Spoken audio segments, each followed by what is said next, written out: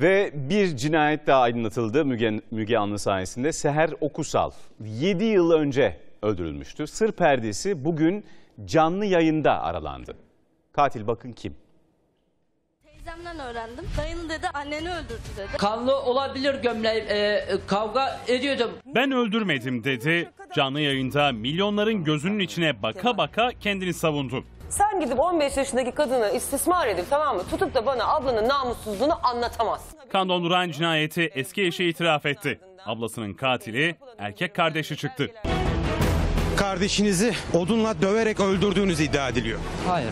7 yıl önceydi. Kocaeli'de yaşayan Seher Okusal esrarengiz şekilde ortadan kayboldu. O yıllarda 11 yaşında olan kızı Sevilay Aha 18'ine bastığı gün annesini bulmak için Müge Anlı'nın kapısını çaldı. İşte ben büyüdüm. Karşınıza geldim.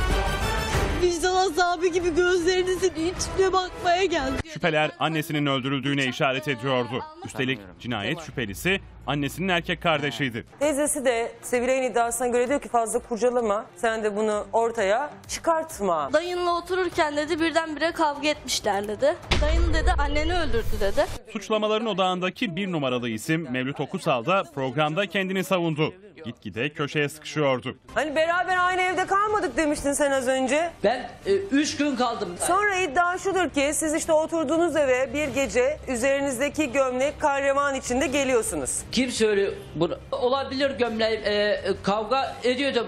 Ortaya çıkan gizli tanığın anlattıkları ise kan dondurdu. Seher restorandan ayrıldıktan sonra geç bir saatlerde Melek'le Mevlüt'ün evine gidiyor. Burada kavga arbede yaşanıyor sanırım tekrar orada çok alkollü olduğu için. Sanırım Mevlüt Seher'in kafasına odun gibi bir şeyle vuruyor. Daha sonra o evin yakınlarında bulunan sazlık bir alan varmış. Oraya el arabasıyla götürüp gömüyor. Gebze Cumhuriyet Başsavcılığı programı ihbar kabul etti ve vakit kaybetmeden harekete geçti. Vahşetin en yakın şahidi yani ablasını öldürmekle suçlanan adamın eski eşi de reklam arasında Müge Anlı'ya konuştu. Melek reklam arasında cinayeti bana itiraf etti. Kocaeli Emniyeti itirazçı olan genç kadının gösterdiği yere Seher Okusal'ın öldürülüp gömüldüğü araziye götürdü. 7 yıl sonra polis Seher Okusal'dan bir iz arıyor.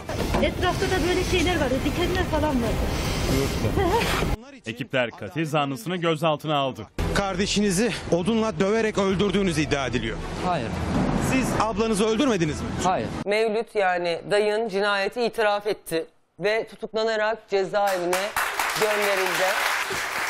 Ben seni kutluyorum biliyor musun?